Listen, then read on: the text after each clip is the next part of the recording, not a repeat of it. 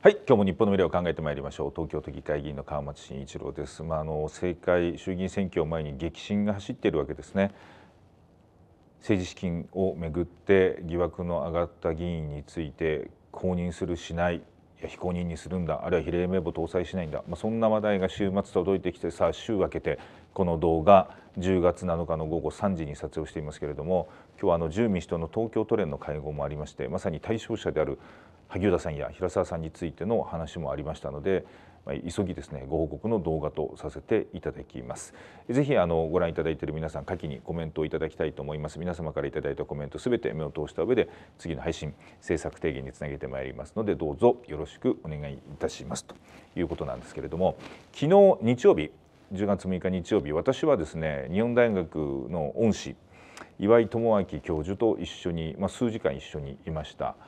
であの、まあ、岩井先生政治と金がもあのテーマでございまして政治資金規正法などは私も学生時代からいろいろずっと学んできたですね、まあ、一人なんです。で最近もまあ、こういう派閥の政治と金の時にはいろんなメディアに出てくることがありますね岩井教授ね。で昨日も、まあ、そういう党本部で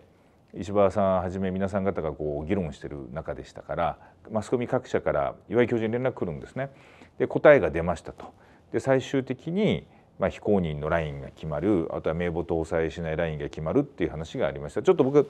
そこの場ではあの岩井先生が電話でメディアから受けてる、まあ、平川ですね自民党本部からの取材結果を聞いてるんですけどちょっと分かりづらいところがあったんですがこうまあ時間を経つにつれて整理されてきましたよと。でそうすると政倫審に出席したかしてないかが一つの線引きになるねというところでまあ、東京の場合はですね萩生田さんそして平沢勝栄さんこの2人が対象なんだということになりました。で私は政治資金規正法というのは、まあ、学んできた立場からすればですね政治資金を規制するあのこれダメよダメよという規制ではなくてあの規制の木というのは規則の木に正しいなんですね規制正しくしてくださいよということですから政治資金で使ってるならば修正してくださいよっていう趣旨がありますがそもそもやっぱり政治資金規正法の趣旨に反してまあいろいろとこう問題が発覚した一人一人これ金額が多い少ないではなくてそのことについてはもう自民党の議員一人一人があの心から反省をしそれぞれ有権者の皆さん方に判断を仰ぐとこれは必要性当然これ誰も異論がないと思います。萩生田さんももうあの失った信頼を回復するために一からやり直すということでですね八王子で日々活動されている様子が、まあ、SNS などから伝わってきているわけですけどもうそれはもうそうですよねと。ただ井上真司東京都連会長が今日話してたのはあの報道にも出てますけどね。あの東京都連としてはすでに公認の申請を党本部に上申をしている。で昨日は各候補者の政見放送もすでに撮影したでやっぱりそのギリギリのタイミングでこういうふうに決断になってしまったこと。決断するんだったらもうもっと早くできたんじゃないのと。例えば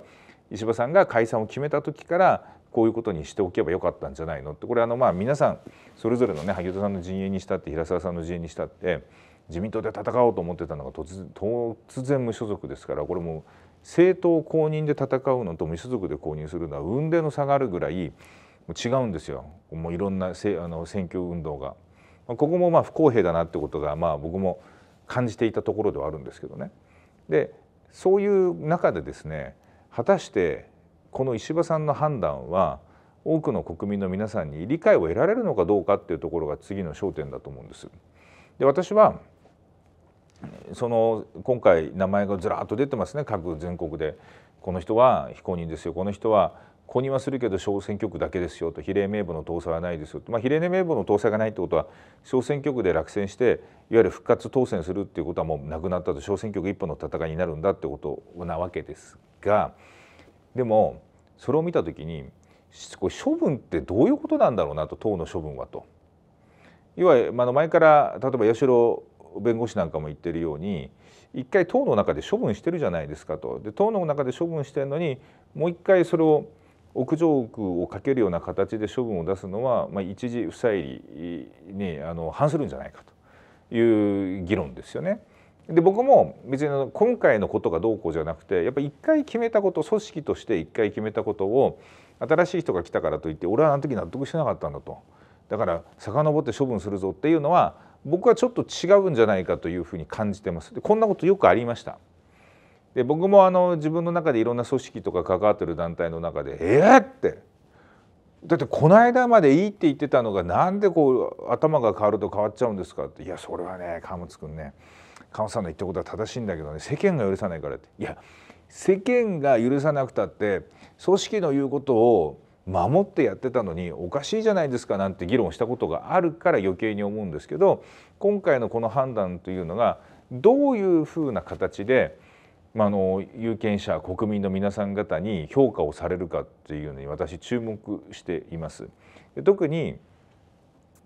政治倫理審査会に出席をした人してなかった人これ金額が多い少ないじゃなくて出席した人出席してない人たちの一つの線がありますよね。で今回出席しなかった人は非公認ということになりましたよと。で例えばこれまあそのなんで出席しなかったかっていうと当時の様子を僕もちょっと思い出してみたんですけどでこうネットでも見てみたら朝日新聞の2月の記事が残ってましたが政倫審に出席するかどうかは表向きは本人の申し出になっていましたが最終的にあなたは出ない方がいいんじゃないかあなたは出た方がいいんじゃないかってことはこれ党幹部の人選で決まっていたんじゃないかっていう話ですよね。でそうするとですねあの要は戦輪審に別に私は出てもよかったんだよと。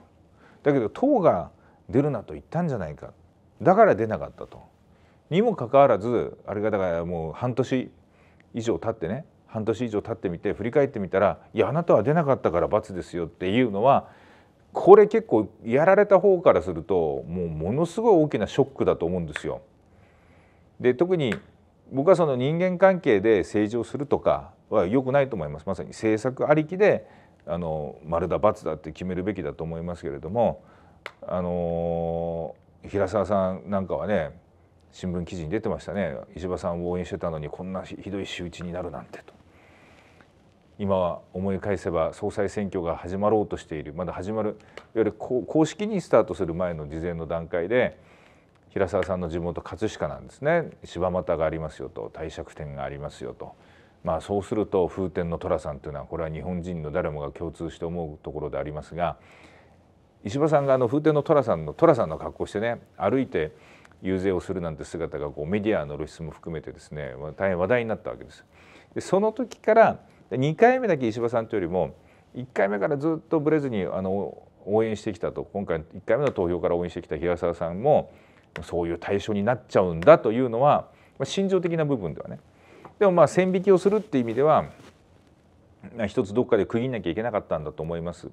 いずれにしてもこれはあの金額多い少ないではなくて政治資金の規正法の趣旨にのっとっていや違ってたよねとか合ってたよねっていうところのベースでいけばそれはそれ一人一人が反省すべきところは反省してケアレミスじゃない場合もあるわけですからねそれはちゃんと反省しなきゃいけないと思いますけれども皆さん方だったらこれ同じになって例えば会社でとかだった場合どうすんのかなと思いますよね。社長あの時はもう罰も受けてたんだけど社長が変わったら「いやお前はクビだよ」みたいなえーってあの時の謹慎は何だったんでしょうかみたいな感じにはなるんじゃないかなと思うんです。僕はやっぱ罰則つけるっていうのは非常に重たいことであってよく人権問題だとか何度考えましょうって言われますけど事前に取り決めがあってこんなことやったらあなたはイエローカードですよ。こんなことやったらレッドカードですよ。交通違反の取り締まりもそうですよね。こういうことやったら何点減点ですよ。だから何かこう取り締まりあった時もそのもう点数あそうかこれは1点か2点か3点かみたいな話になるんじゃないのかなと思うんですね。それをまあこれまだ正式に正式にまだ発表されてなくて僕ら新聞事例をもとにこう話してるわけですが非公認の話はね。これ伝える時にどういう理屈であのそれぞれの対象者に党本部が伝えるのかあるいは正式に決めた後に記者対応もあるでしょうからどういうふうに話をされるのかなというのは僕今後のためにすごく重要だと思います。なんか突然トップが変わったら過去の方針も変わっちゃうんだってすごい怖い時代になっちゃうかなという心配もありますんで、まあ、この後も動画が上がってからわずかなうちに正式にいろんなことが決まっていくと思いますけれども、まあ、それぞれの対応一体決めた人たちはどういうふうな考えなのかってことは皆さんと注目していきたいなと思っております。今日はとにかく